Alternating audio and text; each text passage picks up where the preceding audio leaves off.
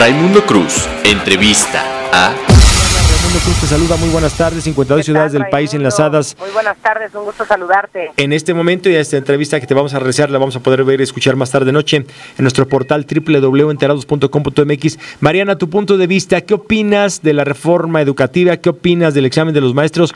¿Qué opinas el desaguisado que tiene el secretario, el secretario Chefet? Mira, primero considero que tiene hecho un tiradero el secretario de Educación, Emilio Chaifet, el tema educativo y es lamentable que después de todo el esfuerzo que hemos hecho desde el legislativo para que hoy haya una reforma educativa, esté prácticamente tratándola de tirar a la basura.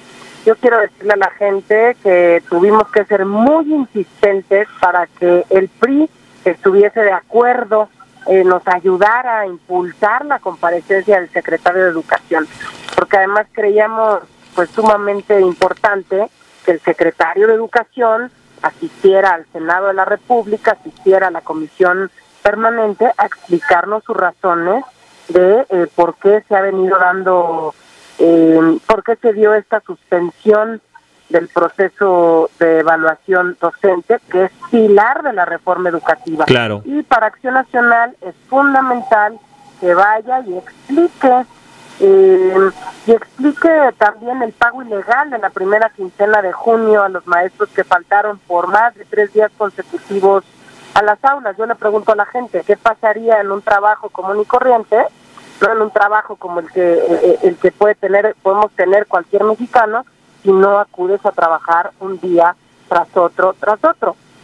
Lo mínimo, Raimundo, es que te corren. ¿Estamos de acuerdo? Totalmente de acuerdo. Mariana, eh, y bueno, y también aquí te quiero decir, eh, parte de las declaraciones del secretario Emilio Chávez fue, dijo que llueve, truene eh, o relampague, pasara lo que pasara, habría evaluación.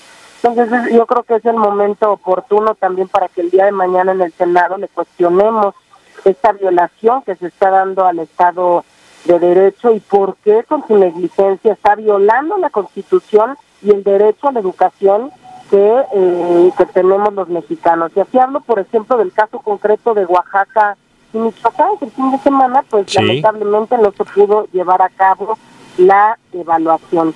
Y sí creemos desde Acción Nacional que se debe acabar con la simulación del gobierno federal, con la falta de audacia para poder implementar estas reformas estructurales. Entonces esta comparecencia pues se llevará en el seno de la primera comisión de la comisión eh, eh, permanente y también estarán compareciendo los consejeros del INE y posteriormente el secretario Emilio Chaizet. Y estaremos pues escuchando las razones de la suspensión de, de la evaluación docente, Raimundo. Mariana, eh, se nos termina el tiempo, pero te pregunto, ¿es de los secretarios que próximamente ya estamos vislumbrando que deja su cargo?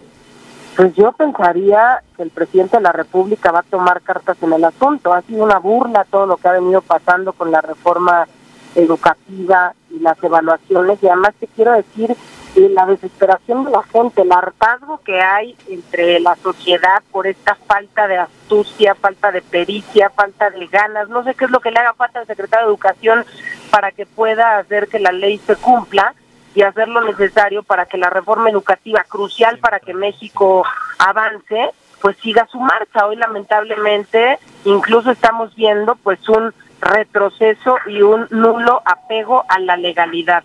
No puede ser, y pongo el ejemplo de Oaxaca, Michoacán y Guerrero, ahí se concentran el casi el 14% del total de maestros, el 16% de las escuelas del país, y no podemos estar dejando a nuestros niños ni sin clases, ni podemos estar eh, dejando a nuestros niños sin maestros, eh, bueno, más bien con maestros que no tienen ninguna preparación y que ni siquiera admiten hoy Raimundo el que pueda siquiera hacerse una evaluación. Mariana. Entonces, yo espero que el, eh, el, presidente de la República, insisto, tome cartas en el asunto y que nos gustaría ver pronto un cambio, en el, eh, un cambio eh, de nombre ya en esta posición tan estratégica para que México avance. Gracias, estamos en comunicación. Mariana Gómez Campos, senadora de la República. Buenas, tardes.